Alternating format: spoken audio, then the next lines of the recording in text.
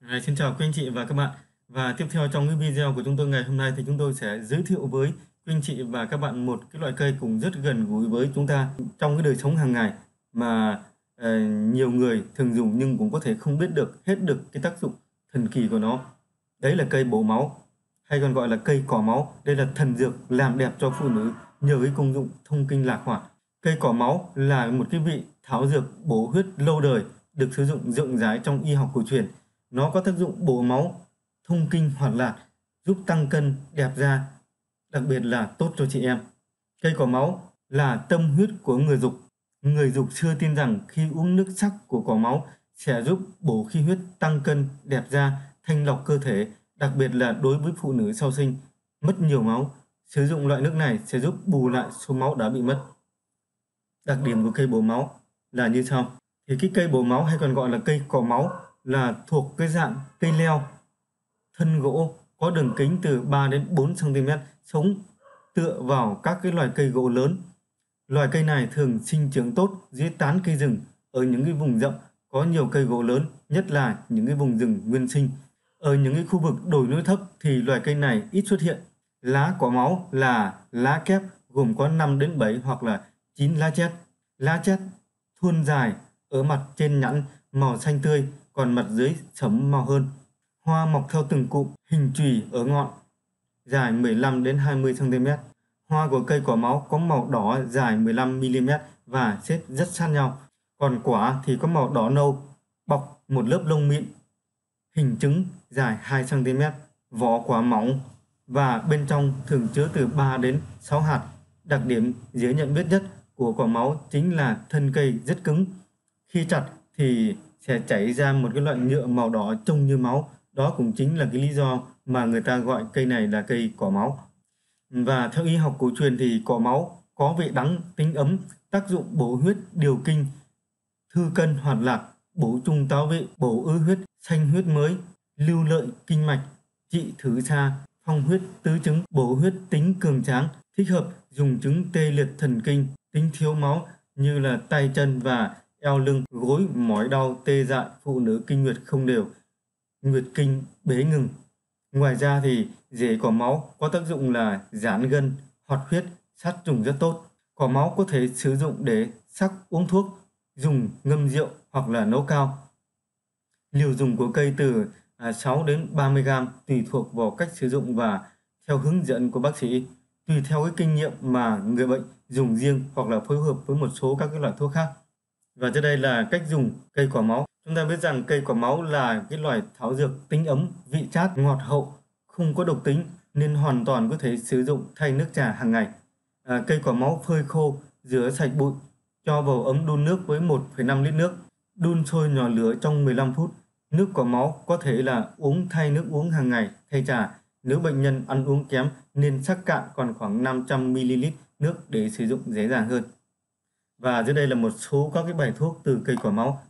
Bài thuốc thứ nhất là trị chứng đau lưng mỏi gối. Thì chuẩn bị một thang thuốc gồm có 16 gram cỏ máu và tục đoạn xuyên khung, cấu tích, dây đau xương, mỗi thứ 12 gram, đem sắc với nước chia ra sử dụng 2 đến 3 lần mỗi ngày. Sử dụng khoảng 6 thang thuốc sẽ thấy tác dụng rõ rệt. Cái bài thuốc thứ hai là chữa cơ thể suy yếu, đổ mồ hôi trộn. Chuẩn bị 90 đến 100 g cây quả máu đem rửa sạch và sắc lên nước để uống. Có thể cho thêm 1 đến 2 quả trứng gà luộc rồi nấu cùng với nước quả máu như canh. Cần phải kiên trì ăn món này liên tục từ 5 đến 7 ngày giúp bồi bổ sức khỏe. Ừ, và cái bài thuốc thứ ba là chữa kinh nguyệt không đều, điều trị khí huyết hư, thiếu máu não, mệt mỏi, hoa mắt chóng mặt. Người thiếu máu, phụ nữ có kinh nguyệt không đều cần dùng những cái nguyên liệu như là 16 g quả máu, 10 g ngưu tất, 6 gram nghệ vàng, 12 gram ích mẫu, sắc nước để uống mỗi ngày. Sử dụng bài thuốc này liên tục từ 5 đến 10 ngày để cải thiện tình trạng khí huyết trong cơ thể. Và bài thứ tư đấy là điều trị đau dạ dày. Sử dụng 16 đến 20 gram cây quả máu, sắc lên nước để uống hoặc là ngâm rượu.